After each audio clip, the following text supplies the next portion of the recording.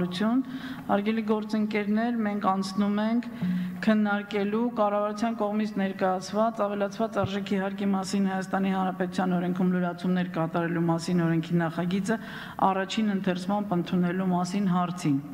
Հիմնական զեկուցողն է Հայաստանի Հանրապետության էկոնոմիկայի նախարար Արծվիկ Մինասյանը։ Արգելի պարոն նախարար, համեցեք կենտրոնական ամբիոնի մոտ, մենք համակ ուշադրությամբ լսում ենք ձեր հիմնական զեկույցը։ Շնորհակալություն ազգային ժողովի հարգարժան փոխնախագահ, արգելի գործընկերներ, նախ իմ ձեռքում է Հայաստանի հայկական առաջին բջջային հեռախոսը։ Եվ կարծում եմ կարծում եմ, որ մեզնից պետք է նաև սկսենք հայկական ապրանքա ապրանքանիշով առաջին ապրանքների իրացումը։ Ինչպես։ Այո։ Թույլ տվեք ներկայացնել ավելացված արժեքի հարկի մասին Հայաստանի Հանրապետության օրենքում լրացում կատարելու մասին, օրենքի նախագիծը առաջին ընթերցման ընդունելու մասին հարցը։ Հարգելի գործընկերներ, այս օրինագծի ստեղծման անհրաժեշտությունը պայմանավորված է նրանով, որ մի շարք ոլորտներում տնտեսության որտեղ միջազգային դոնոր կազմակերպությունները նախատեսում են աջակցություն ցուցաբերել դրամաշնորհների տեսքով կամ բյուջետային ծրագրեր են, որոնք դրամաշնորհներով են իրականացվում, մեր գործող օրենսդրության համաձայն այդ դրամաշնորհներով մատուցվող ծառայությունները եւ ձեռք բերվող ապրանքները կամ մատուցվող ծառայությունները հարկվում են ավելացված արժեքի հարկով, ինչը խոչընդոտ է հանդիսանում համ ծրագրի արդյունավետության ապահովման, համ դոնոր կազմակերպությունների կողմից համապատասխան աջակցությունը իրականացնելու հարցում, որովհետև լրացուցիչ ավելի 20% հավելյալ պետք է բեռնվածություն ունենա, ինչը նաև որոշակի ձևով կասեցնում է դոնոր կազմակերպությունների կողմից առավել ինտենսիվ նման աջակցության ցուցաբերումը։ Եվ հետևաբար ելնելով դրանից քննարկվել է եւ առաջարկում ենք, որպեսզի ավելացված արժեքի հարկի մասին օրենքի 15 հոդվածը լրացնել նոր 38-րդ կետով, որի համաձայն սուբսիդիաների, սուբվենցիաների եւ դրամաշնորհային ծրագրերի շրջանակներում իրականացվող գործարքները, գործառնությունները կազատվեն ավելացված արժեքի հարկից, եթե նշված ծրագրերը արժանանան Հայաստանի Հանրապետության կառավարության կողմից ձևավորված մասնագիտական հանձնաժողովի դրական եզրակացությանը։ Այս հիմնական այս կարգավորումն է նախատեսված այս օրենքով եւ հանձնաժողովում նկատի առնելով քննարկման առանձնահատկությունները եւ նաեւ հնչեցված առաջարկությունները, նաեւ որոշակի խմբագրման են կենթարկել, որ เป զի թիրախը լինի ավելի པարս։ Այսինքն ոչ թե բոլոր գործարքներն են ազատվում, այլ այն գործարքները, որոնք որ այդ ծրագիրը որակվել է որպես դրամաշնորային, սուբսիդավորման ենթակա, եւ որը կառավարության մասնագիտական հանձնաժողովը կհամարի էական եւ կարեւոր այդ ծրագրի արդյունավետության ապահովման համար։ Դրա համար ծրագիրը պետք է թե որակվի որպես արտոնյալ եւ թե նաեւ պետք է այդ որոշման մեջ կառավարության նշվեն կոնկրետ գործարքները, որոնք որ ստանալու են այդպիսի արտոնություն։ Երկրորդ առաջարկը հանձնաժողովին վերաբերում էր նրան, որ հստակեցվի, եթե ընթացքում կասեցվում է, ապա այն ինչով պետք է տարբերվի դաթարեցման իրավական ռեժիմից, սա հստակեցում հստակեցման ենք ենթարկել, երկու անգամ կարող է կասեցվել, եթե ծրագրային շեղում լինի, ուղղվելուց հետո շարունակվի, այդ դեպքում չի գանձվի նախկինում չվճարվածը, բայց եթե երկու կասեցումից հետո կշարունակվի անբարեխիղճ վարկագիծը, ապա կդադարեցվի եւ նախկինում չվճարված ավելացված արժեքի հարկը ամբողջությամբ կգանձվի պետական բյուջե։ Մյուս կարևոր առանձնա առաջարկությունը, որ ներկայացվում էր, վերաբերում էր մի համակարգի ստեղծմանը, որտեղ այս հանձնաժողովում ներգրաված կլինեն նաև ոչ միայն կառավարության ներկայացուցիչներ, այլ հանրային սեկտորի եւ նաեւ ազգային ժողովի ներկայացուցիչները, քանի որ դա օրենքի մակարդակով ձևակերպվել է խնդրահարույցը, մենք քննարկել ենք եւ առաջարկում ենք, որպեսզի այդ հնարավորությունը ընձեռվի կառավարության որոշմամբ ստեղծվող հանձնաժողովի ձևավորման կարգում։ Այլ կերպ ասած, մենք ընդունում ենք այդ առաջարկությունը, ավելին շնորհակալ ենք այդ առաջարկության համար եւ պատրաստ ենք որպես այդ հանձնաժողովի կազմում անպայման ներգրավի ազգային ժողովի համապատասխան հանձնաժողովի կամ եթե այլ ձևաչափ կընտրի ազգային ժողովի ղեկավարությունը, ապա համապատասխան ներկայացուցիչներ ազգային ժողովից։ Գրեթե այս համակարգը համանման է դառնում բարեգործական ծրագրեր իրականացնող մասնագիտական հանձնաժողովի գործունեության հետ։ Այսքանը շնորհակալ եմ, եթե հարցեր կնեն, պատասխանեմ։ Շնորհակալություն հարգարժան պարոն նախարար, արգելի գործընկերներ, մենք հիմա հարցերով կարող ենք դիմել նախարարին իր զեկույցի վերաբերյալ հերթագրում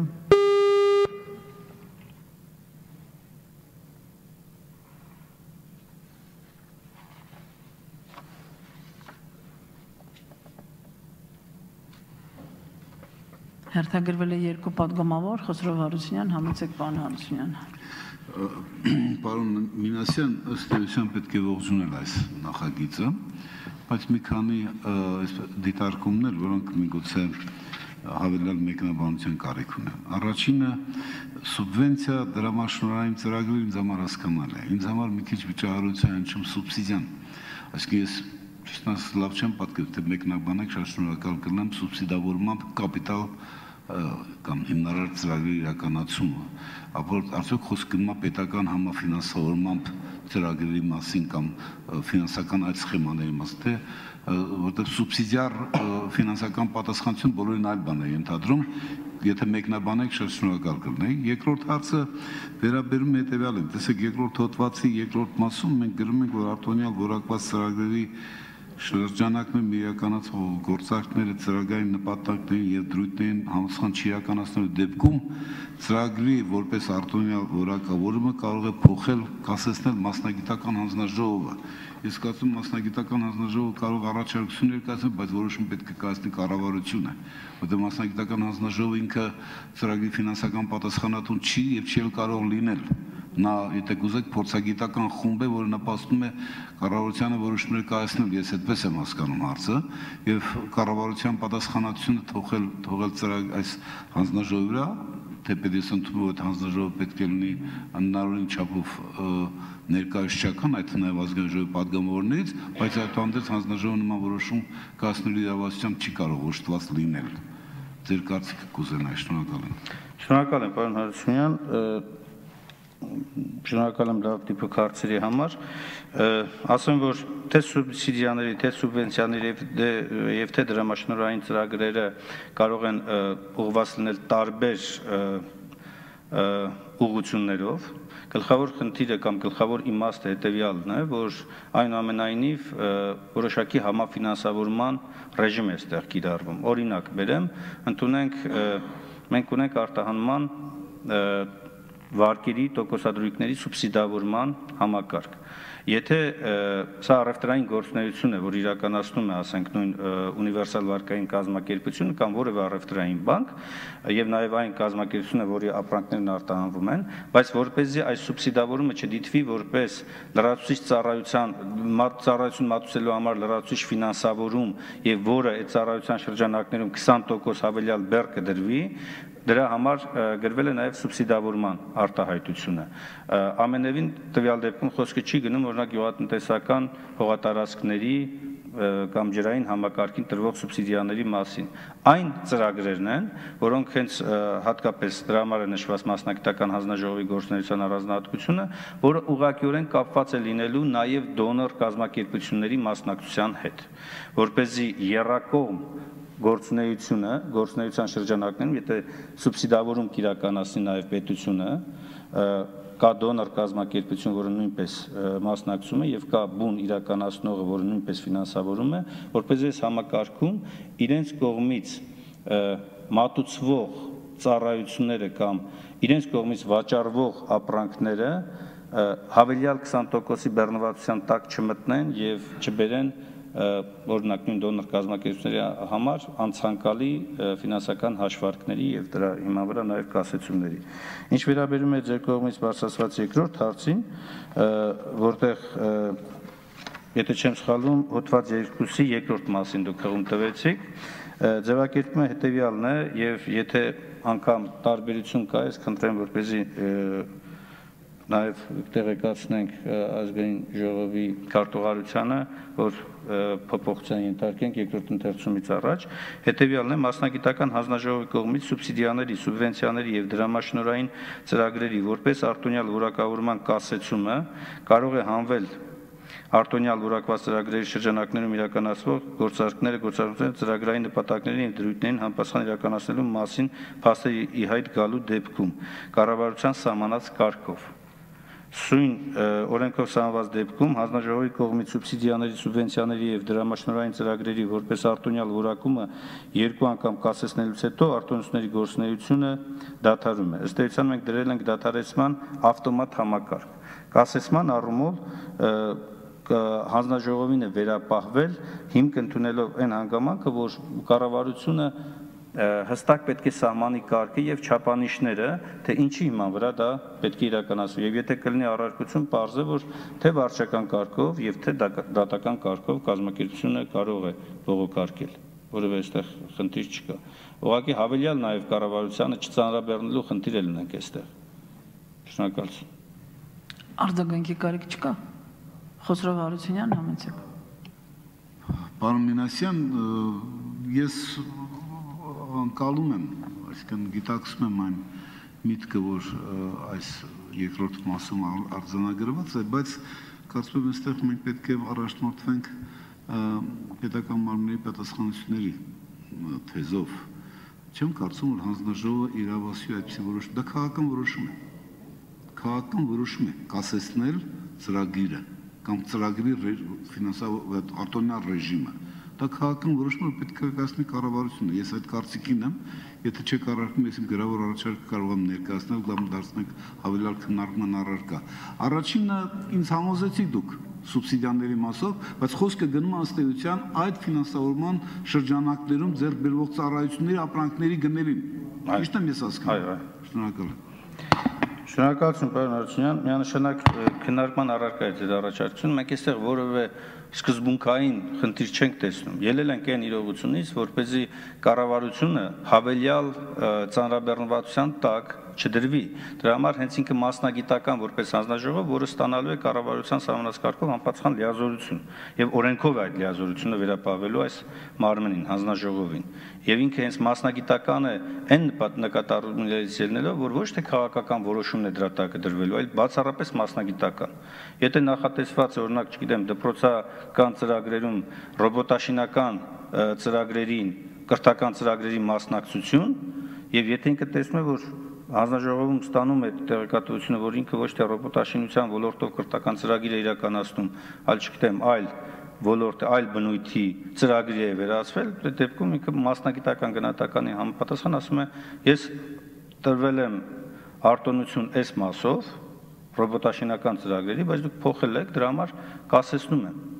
արտոնությունն եմ կասեցնում, ոչ թե ծրագրի գործողությունն եմ կասեցնում, արտոնությունն է, ինչը բերում է ֆինանսական հետևանքների, բայց այնուամենայնիվ որևէ սկզբունքային առարկություն չունենք։ Ուղղակի խնդրելու եմ, որ նկատի առնեք, որ որոշումը այս տեսքով ներկայացնելու բխել է բացառապես ավելորդ ծանրաբեռնվածություն չիրականացնելու մտահոգությունից։ Հարգելի պարոն նախարար, պարոն Հարությունյան, մենք հիմա այս օրենքը քննարկում ենք առաջին ընթերցման ռեժիմով, ես դալիճում եմ նաև պարոն Այվազյանը։ Ես կարծում եմ շատ առարկայական եւ շահագրգիռ քննարկում ա գնում, շոուայական մասը վերջացել է, ամտել ենք աշխատանքային մաս եւ մենք կարող ենք նաև իսկապես խնդիրը ավելի մանրամասն քննարկել հանձնաժողովի շրջանակներում քանի որ բոլորի պատրաստակամությունը կա։ Պարոն Արայիկ Հովանեսյան հարցի համար համեցեք։ Շնորհակալություն, հարգելի պարոն նախարար, շատ ողջունելի գաղափար է դրված այս օրենքի նախագծում։ Կրկնակի ողջունելու էր ձեր խոսքի սկզբում ցուցադրածը եւ նոր տեխնոլոգիաների բնագավառում եւ ունեցած հաջողությունը, ինչի համար ձեզ եւ մեզ բոլորիս պետք է իսկապես շնորհավորել։ Հիմա օրենքի հետ կապված 38 կետում նշված է սուբսիդիաների, սուբվենցիաների եւ դրամաշնորհային ծրագրերի շրջանակում իրականացող գործարքներն ազատվում են ավելացած արժի հարկից, եթե նշված ծրագրերն արժանացել են Հայաստանապետության կառավարության կողմից ձեռված մասնագիտական հանձնաժողովի դրական իզրակացության հիմնավորման մեջ եւ ձեր խոսքում դուք ավելի շատ օգտագործեցիք դոնոր կազմակերպությունների կողմից։ Արդյոք սա վերաբերելու է միայն դոնոր կազմակերպությունների կողմից տրվող սուբվենցիաներին, սուբսիդիաներին եւ դրամաշնորհին, թե նաեւ պետական բյուջեից հատկացումներին եւ ում հատկացումներին այսինքն դա կլինեն հասարակական կազմակերպություններ, այլ այլ հնարավորություններ կան, ում ում է ուղղված լինելու սա, որովհետև հիմնավորման մեջ նշված է հիմնականում նաև ՏՏ ոլորտի մասնագիտական, գուցե միայն իրենց, թե ընդհանուր։ Երկրորդ հարցը հանձնաժողովի հետ էր կապված, դուք կանխեցիք իմ հարցը, որովհետև այստեղ նշված մասնագիտական հանձնաժողովից շատ բան է կախված լինելու եւ կարեւոր էր, որ այն ներկայացվածության առումով բազմազան լիներ եւ ոչ միայն կառավարության ներկայացուցիչներ, եթե նախնական քննարկումներն դուք եկել եք այդ եզրակացությունը շատ ողջունելի է, որ անպայման ներկայացված լինեն եւ քաղաքասարակության ներկայացուցիչներ եւ եթե հնարավոր նաեւ ազգային ժողովի կողմից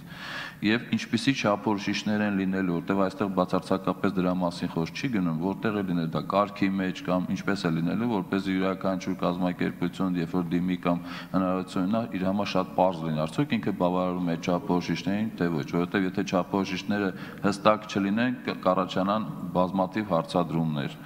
Եվ երրորդ հարցը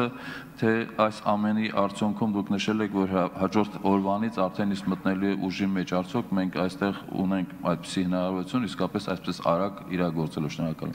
Շնորհակալություն, պարոն Հովանեսյան։ Արագ անդրադառնամ, վերջից սկսեմ, ինչքան շուտ այնքան լավ։ Այս սկզբունքն է այստեղ գործում, որովհետև մենք ունենք բազմաթիվ ծրագրեր, որոնք որ տեղեկատվական տեխնոլոգիաների ոլորտում միջազգային տարբեր կազմակերպություններ արդեն իսկ հայտարարել են աջակցության հնարավորությունների մասին, եւ սա լրացուցիչ խթան է, որպեսզի իրանք ներդնեն այդ ծրագրերը դոնոր որպես դոնորական աջակցություն։ Ինչու է տեղեկատվական տեխնոլոգիաների ոլորտը հատկապես շեշտվել, որովհետև նախ առաջարկությունը եկել է հանրային տեղեկատվական տեխնոլոգիաների ոլորտից Եվ այնուհետև քննարկման արդյունքներով որոշվել է, որ դա չպետք է վերաբերի միայն այդ ոլորտին, այն պետք է վերաբերի նաև մյուս ոլորտներին, ցանկացած ոլորտի, որտեղ որ հենց այս հանձնաժողովը կարևոր կհամարի որպես տնտեսության երկրի զարգացման տեսակետից այս ծրագրի իրականացումը, որի շրջանակներում էլ շնորհվի համապատասխան արտոնությունը։ Ինչ վերաբերում է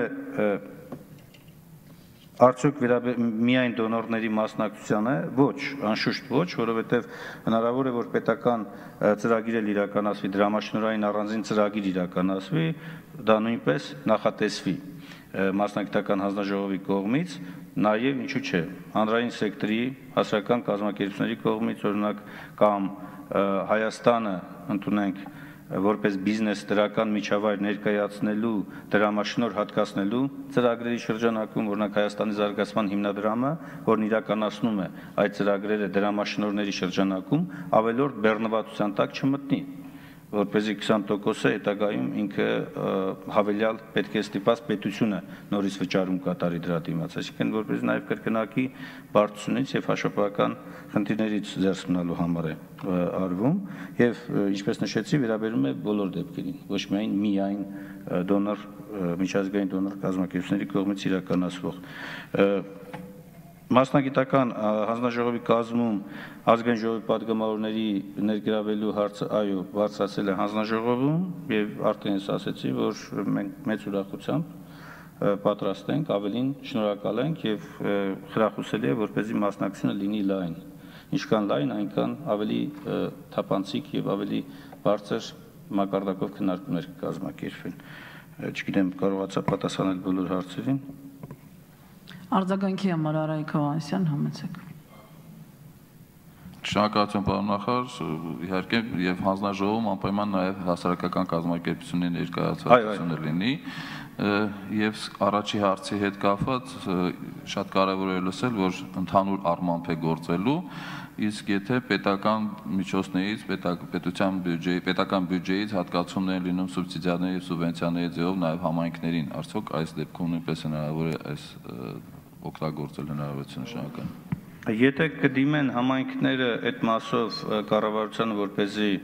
դիտվեն այդպիսին արտոնյալ ծրագրեր համարվեն եւ համապատասխան պետական լիազոր մարմինը, օրինակ ֆինանսների նախարարությունը կամ էկոնոմիկայի նախարարությունը կամ բնապահպանություն, այսինքն ճյուղային նաեւ նախարարություններ, եթե կհամարեն հատուկ նպատակային ծրագիր այդ առումով, ինչու ոչ, նաև այդ հնարավորությունն են ձեռնում։ Բայց պետք է նաև ասել, որ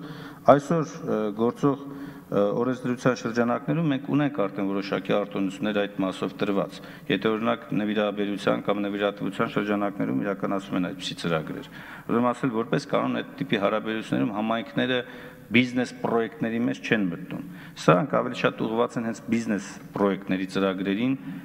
դոնորների մասնակցությունը խթանելուն ու խրախուսելուն։ Հասարակական կազմակերպությունների մասնակցությունը միանշանակ ուղղակի պետք է քննարկենք ձևաչափը, ընտրության ձևաչափը, որպեսզի հավասար վերաբերմունք լինի բոլորին։ Շնորհակալություն։